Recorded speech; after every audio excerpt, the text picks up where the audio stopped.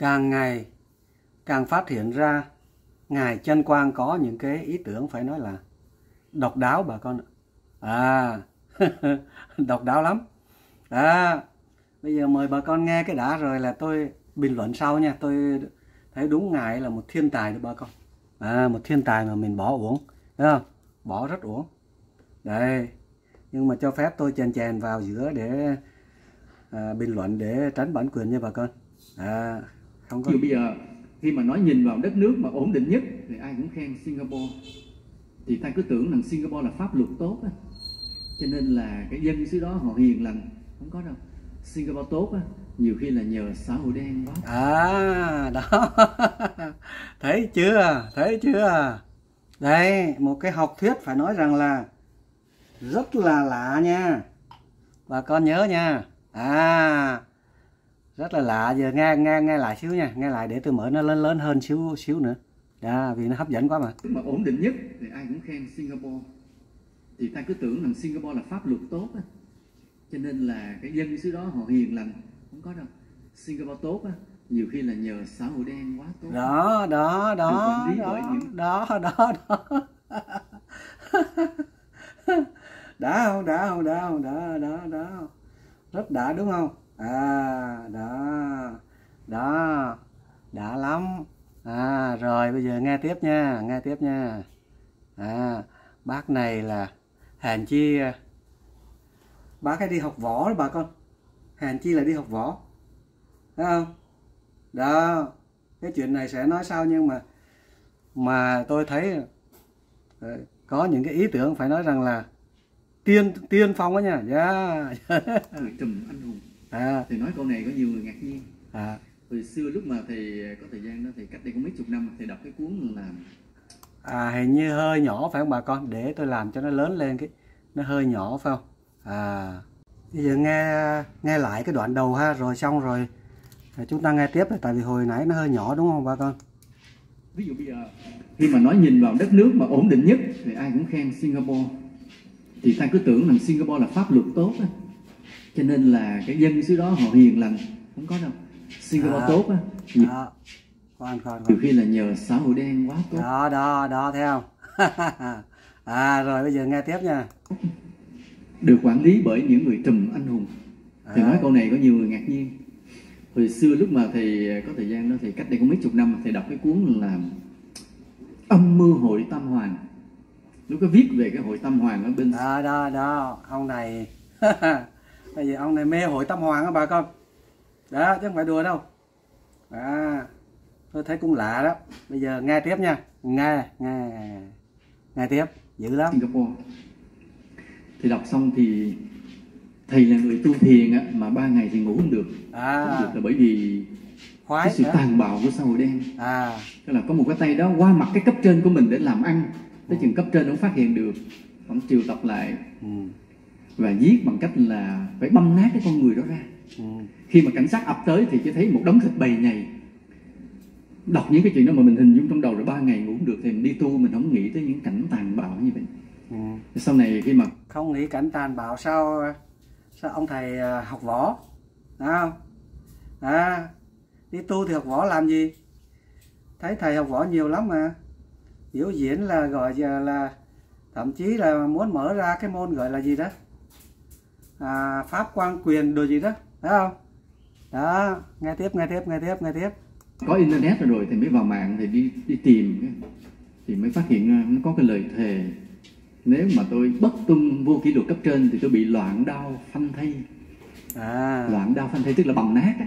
Thì à, đúng là hễ mà ai sai họ cứ xử bằng cách bầm nát từ trên xuống dưới đầu như là bầm thịt bò. Ừ. để cho đúng với cái lời cái cái cái lời thề của họ khi mà họ gia nhập cái băng đảng đó. Thì bà để để để để nghe nha. Đây là mới cái mở đầu thôi. Không mới kể thôi. Đó còn nghe cái quan điểm của của ông thầy nữa. Đó là cái ở Singapore. Cái bối cảnh của cái cuốn cái cái cái cái cuốn truyện đó là ở Singapore. À. Nhưng mà sau này thì Singapore càng lúc càng ổn định. Đời sống càng Đó, lúc càng đó, thanh bình. đó, đó. đâu đó ổn định hết đó. Thì đây không phải là do luật pháp Singapore. Đó do đó. những cái người anh hùng bí mật nào đó họ quản lý xã hội đen mà quản lý. Đó đó đó. Bà con thấy không? Thấy không? À kiểu như là ông này á là là cổ suý cho cái kiểu năm cam đó. À giữ không? Giữ không? À chà tư tưởng lớn dữ. Đó tư tưởng này tư tưởng lớn đó. à bây giờ không không muốn là nhà nước quản lý nữa mà muốn xã hội đen quản lý đó. Như vậy là chúng thanh niên là sao đây? Cái này sẽ nói sao nhưng mà tôi đang có nghi ngờ cái chuyện đó. À, có nghi ngờ cái chuyện đó. Mấy ngày nay thấy chúng thanh niên vô lên mạng quậy dữ lắm. À khá là nguy hiểm đó bà con. Khá là nguy hiểm đó nghe lại cái đoạn này, này. khá là nguy hiểm đó chứ không phải đùa đâu. À. Chuyện đó là ở Singapore. Ừ. nhưng mà sau này thì Singapore càng lúc càng ổn định đời à. sống càng lúc càng thanh bình à. đâu đó ổn định hết. Thì đây không phải là do luật pháp Singapore mà do những cái người anh hùng bí mật nào đó họ quản lý xã hội đen mà quản lý theo cái kiểu giữ yên cho xã hội đó. Vì sao vậy? Đó đó đó đó thấy không? Thấy không? Quan điểm là coi như phải có những người quản lý xã hội đen. Dĩ nhiên quản lý xã hội đen thì phải xã hội đen rồi. À, công nhận.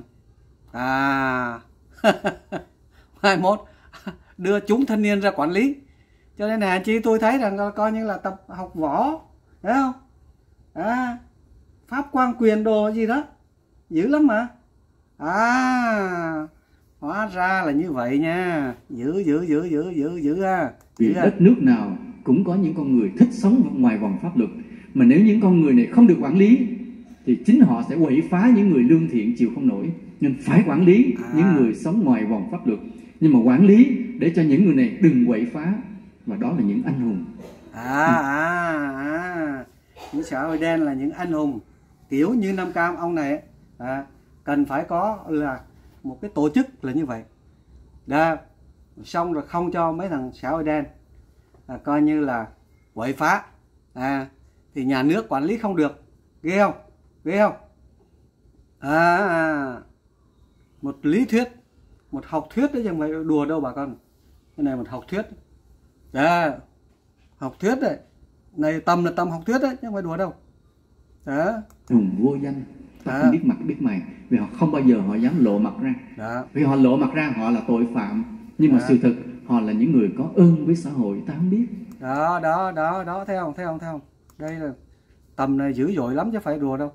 Bà con theo đó đó chuyện đó là ở Singapore nhưng mà sau này thì Singapore càng lúc càng ổn định đời sống càng lúc càng thanh bình à, thanh bình nữa chứ còn dùng từ thanh bình nữa mới ghê chứ à dùng một cái tổ chức xã hội đen để làm cho đất nước thanh bình ghê không à ổn định hết à. thì đây không phải là do luật pháp Singapore ừ. mà do những cái người anh hùng bí mật nào đó ừ. họ quản lý xã hội đen mà quản lý theo cái kiểu giữ ừ. yên cho xã hội đó vì à. sao vậy vì đất nước nào cũng có những con người thích sống ngoài vòng pháp luật. Ừ. mà nếu những con người này không được quản lý thì chính họ sẽ quậy phá những người lương thiện chịu không nổi. Nên phải quản lý những người sống ngoài vòng pháp luật. Nhưng mà quản lý để cho những người này đừng quậy phá. Và đó là những anh hùng. Đó đó đó đó. Công nhận bà con. Tư tưởng này tư tưởng phải nói rằng là tầm cỡ tầm cỡ toàn cầu á. Phải không? À kiểu như là là gì bố già đấy. Đấy đó.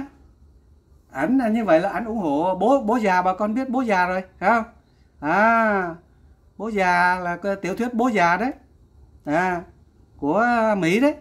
Dữ lắm dữ lắm dữ lắm. À như vậy đây là một cái tư tưởng phải nói rằng là là độc lạ ha, độc lạ bình dương.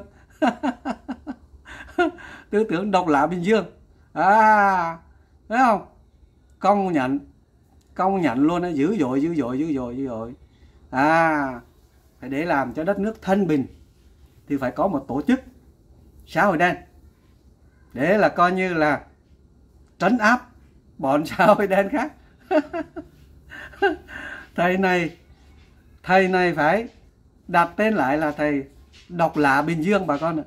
Đó đó, thượng tọa thích độc lạ. đường đó tiếp tục là à,